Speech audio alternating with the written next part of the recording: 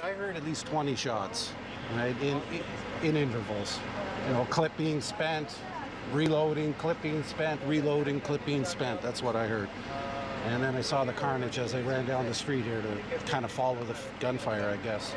I saw at least four people shot here by the fountain. As you said, someone came out of the restaurant here, so I missed that. Another person in Dimitri's, I assume, was shot because there was a lot of action going on there. Towels trying to be grabbed, trying to help people out, I guess.